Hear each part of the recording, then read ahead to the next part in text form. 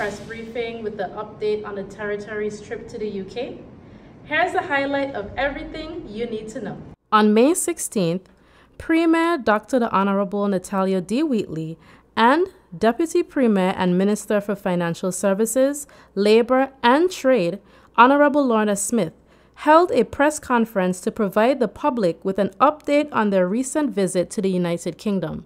The Premier explained that the discussions during the Joint Ministerial Council were very constructive and aimed at strengthening the UK government's support for the territory in areas such as security, climate change response, environmental protection, maritime management, economic resilience, and health.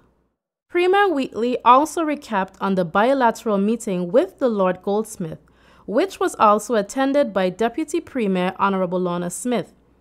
They discussed governance and reform, among other things. The Premier expressed that the time is now to move forward with the implementation of the remaining elements of the COI recommendations and other reforms. BVI UK relations, I'm pleased that our UK partners support our plans to transition the Virgin Islands to a more diversified, tourism-led, investment-driven, low-carbon economy that delivers business and job opportunities for our people. I'm very pleased also that at the JMC, there was UK support for my administration's push for infrastructural development through targeted borrowing.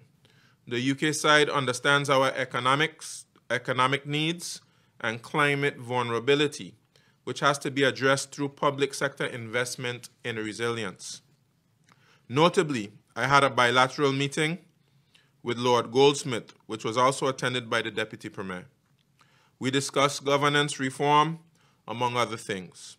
We agreed that now is the time to re-energize the reform process and to swiftly move forward with the implementation of the remaining elements of the COI recommendations and other reforms. While in London, I was able to engage UK parliamentarians. I met the chair of the BVI All-Party Parliamentary Group, Mr. James Sunderland MP, with whom I discussed my administration's priorities, reform and progress on building a new modern partnership between the Virgin Islands and the UK. I was also a panelist at an Overseas Territories Conference in the UK, UK Parliament, where I shared with parliamentarians what it is like to govern in the territories and the key issues of interest and concern to us. Deputy Premier Honorable Lorna Smith explained that the meetings were utilized to demonstrate the territory's consistent stance on publicly accessible registers of beneficial ownership. We agreed that it would be prudent for the overseas territories and the United Kingdom to establish a technical working group on beneficial ownership transparency. This group will share expertise and discuss issues surrounding the implementation of publicly accessible registers of company beneficial ownership, ensuring the necessary safeguards to protect privacy rights. During her second statement, Honorable Lorna Smith spoke about how the Joint Ministerial Council meetings brought forward ways the United Kingdom and the Virgin Islands can work together to tackle the issue of illicit finance. One of the key subjects discussed related to the subject of illicit finance and how the United Kingdom and the overseas territories can work together to tackle the subject.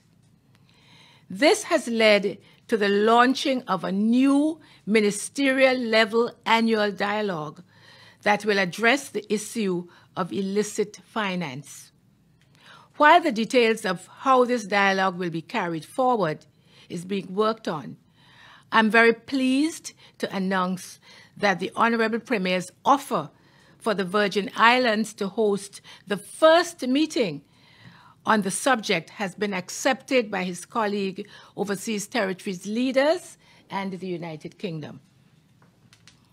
As the minister responsible for financial services, I have tremendous interest in ensuring and leading as necessary the charge against any activity that may become a reputational dent on the financial services and products the Virgin Islands has to offer.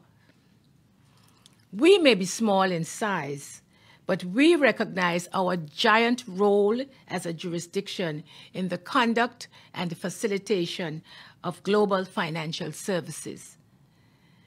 The Virgin Islands once again declares that it remains open to only legitimate business, premised on respect for our laws and the laws of other countries, and will continue to cooperate with external law enforcement and civil authorities of other countries. This has been another press conference highlight. Until next time.